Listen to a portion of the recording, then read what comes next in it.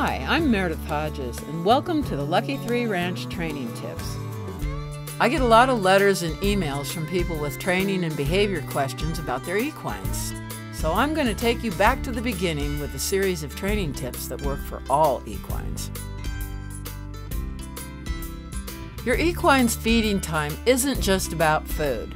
Use your feeding ritual as an opportunity to really check your animal, from the tops of his ears to the tip of his tail and all around his stall. This is your chance to make sure all is well with your equine and his environment. Check to see that his water and food intake are normal, his excretions are normal, and he's happy and healthy.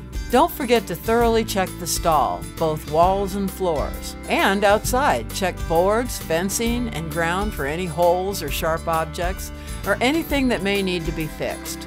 Feeding is also the perfect time to bond with your equine. Let him know you're happy to see him. Spend some time just being with him.